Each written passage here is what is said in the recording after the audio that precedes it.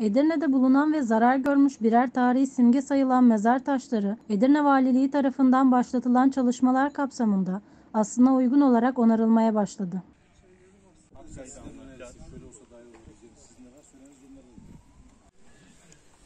Kentte bulunan çeşitli noktalardaki tarihi mezarların bakım ve onarım çalışmalarının başladığını dile getiren Edirne Valisi Kürşat Kırbıyık, Edirne'de bulunan kültürel değerlerin ayakta tutulmasının herkesin ortak sorumluluğu olduğunu belirtti.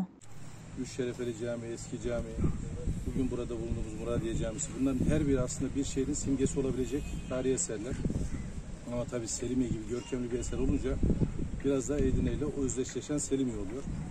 Tabii bu anlamda bu eserlerin ayakta tutulması bizim hepimiz açısından öncelikli bir görev. Bu anlamda da zaman zaman ziyaretlerimizde, zaman zaman basında yer alan haberlerde şunu gördük. Özellikle bu tarihi mezarlıklarımızın, cami hazirelerimizin bir yıpranma olduğunu gördük. Nasıl bir yöntem geliştirebiliriz diye arkadaşlarımızla konuştuğumuzda biz bir karşıtı güç birliği yapalım anlayışı içerisinde gelişti. Başta Trakya Üniversitesi'nden akademisyen hocalarımız bu çalışmanın rehberlik kısmını üstlendiler ve yönlendirmesini üstlendiler.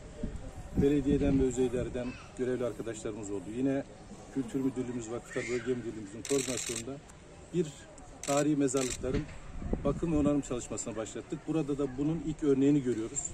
İnşallah önümüzdeki haftalardan itibaren diğer yerlerde de bu çalışma hızlı bir şekilde devam edecek.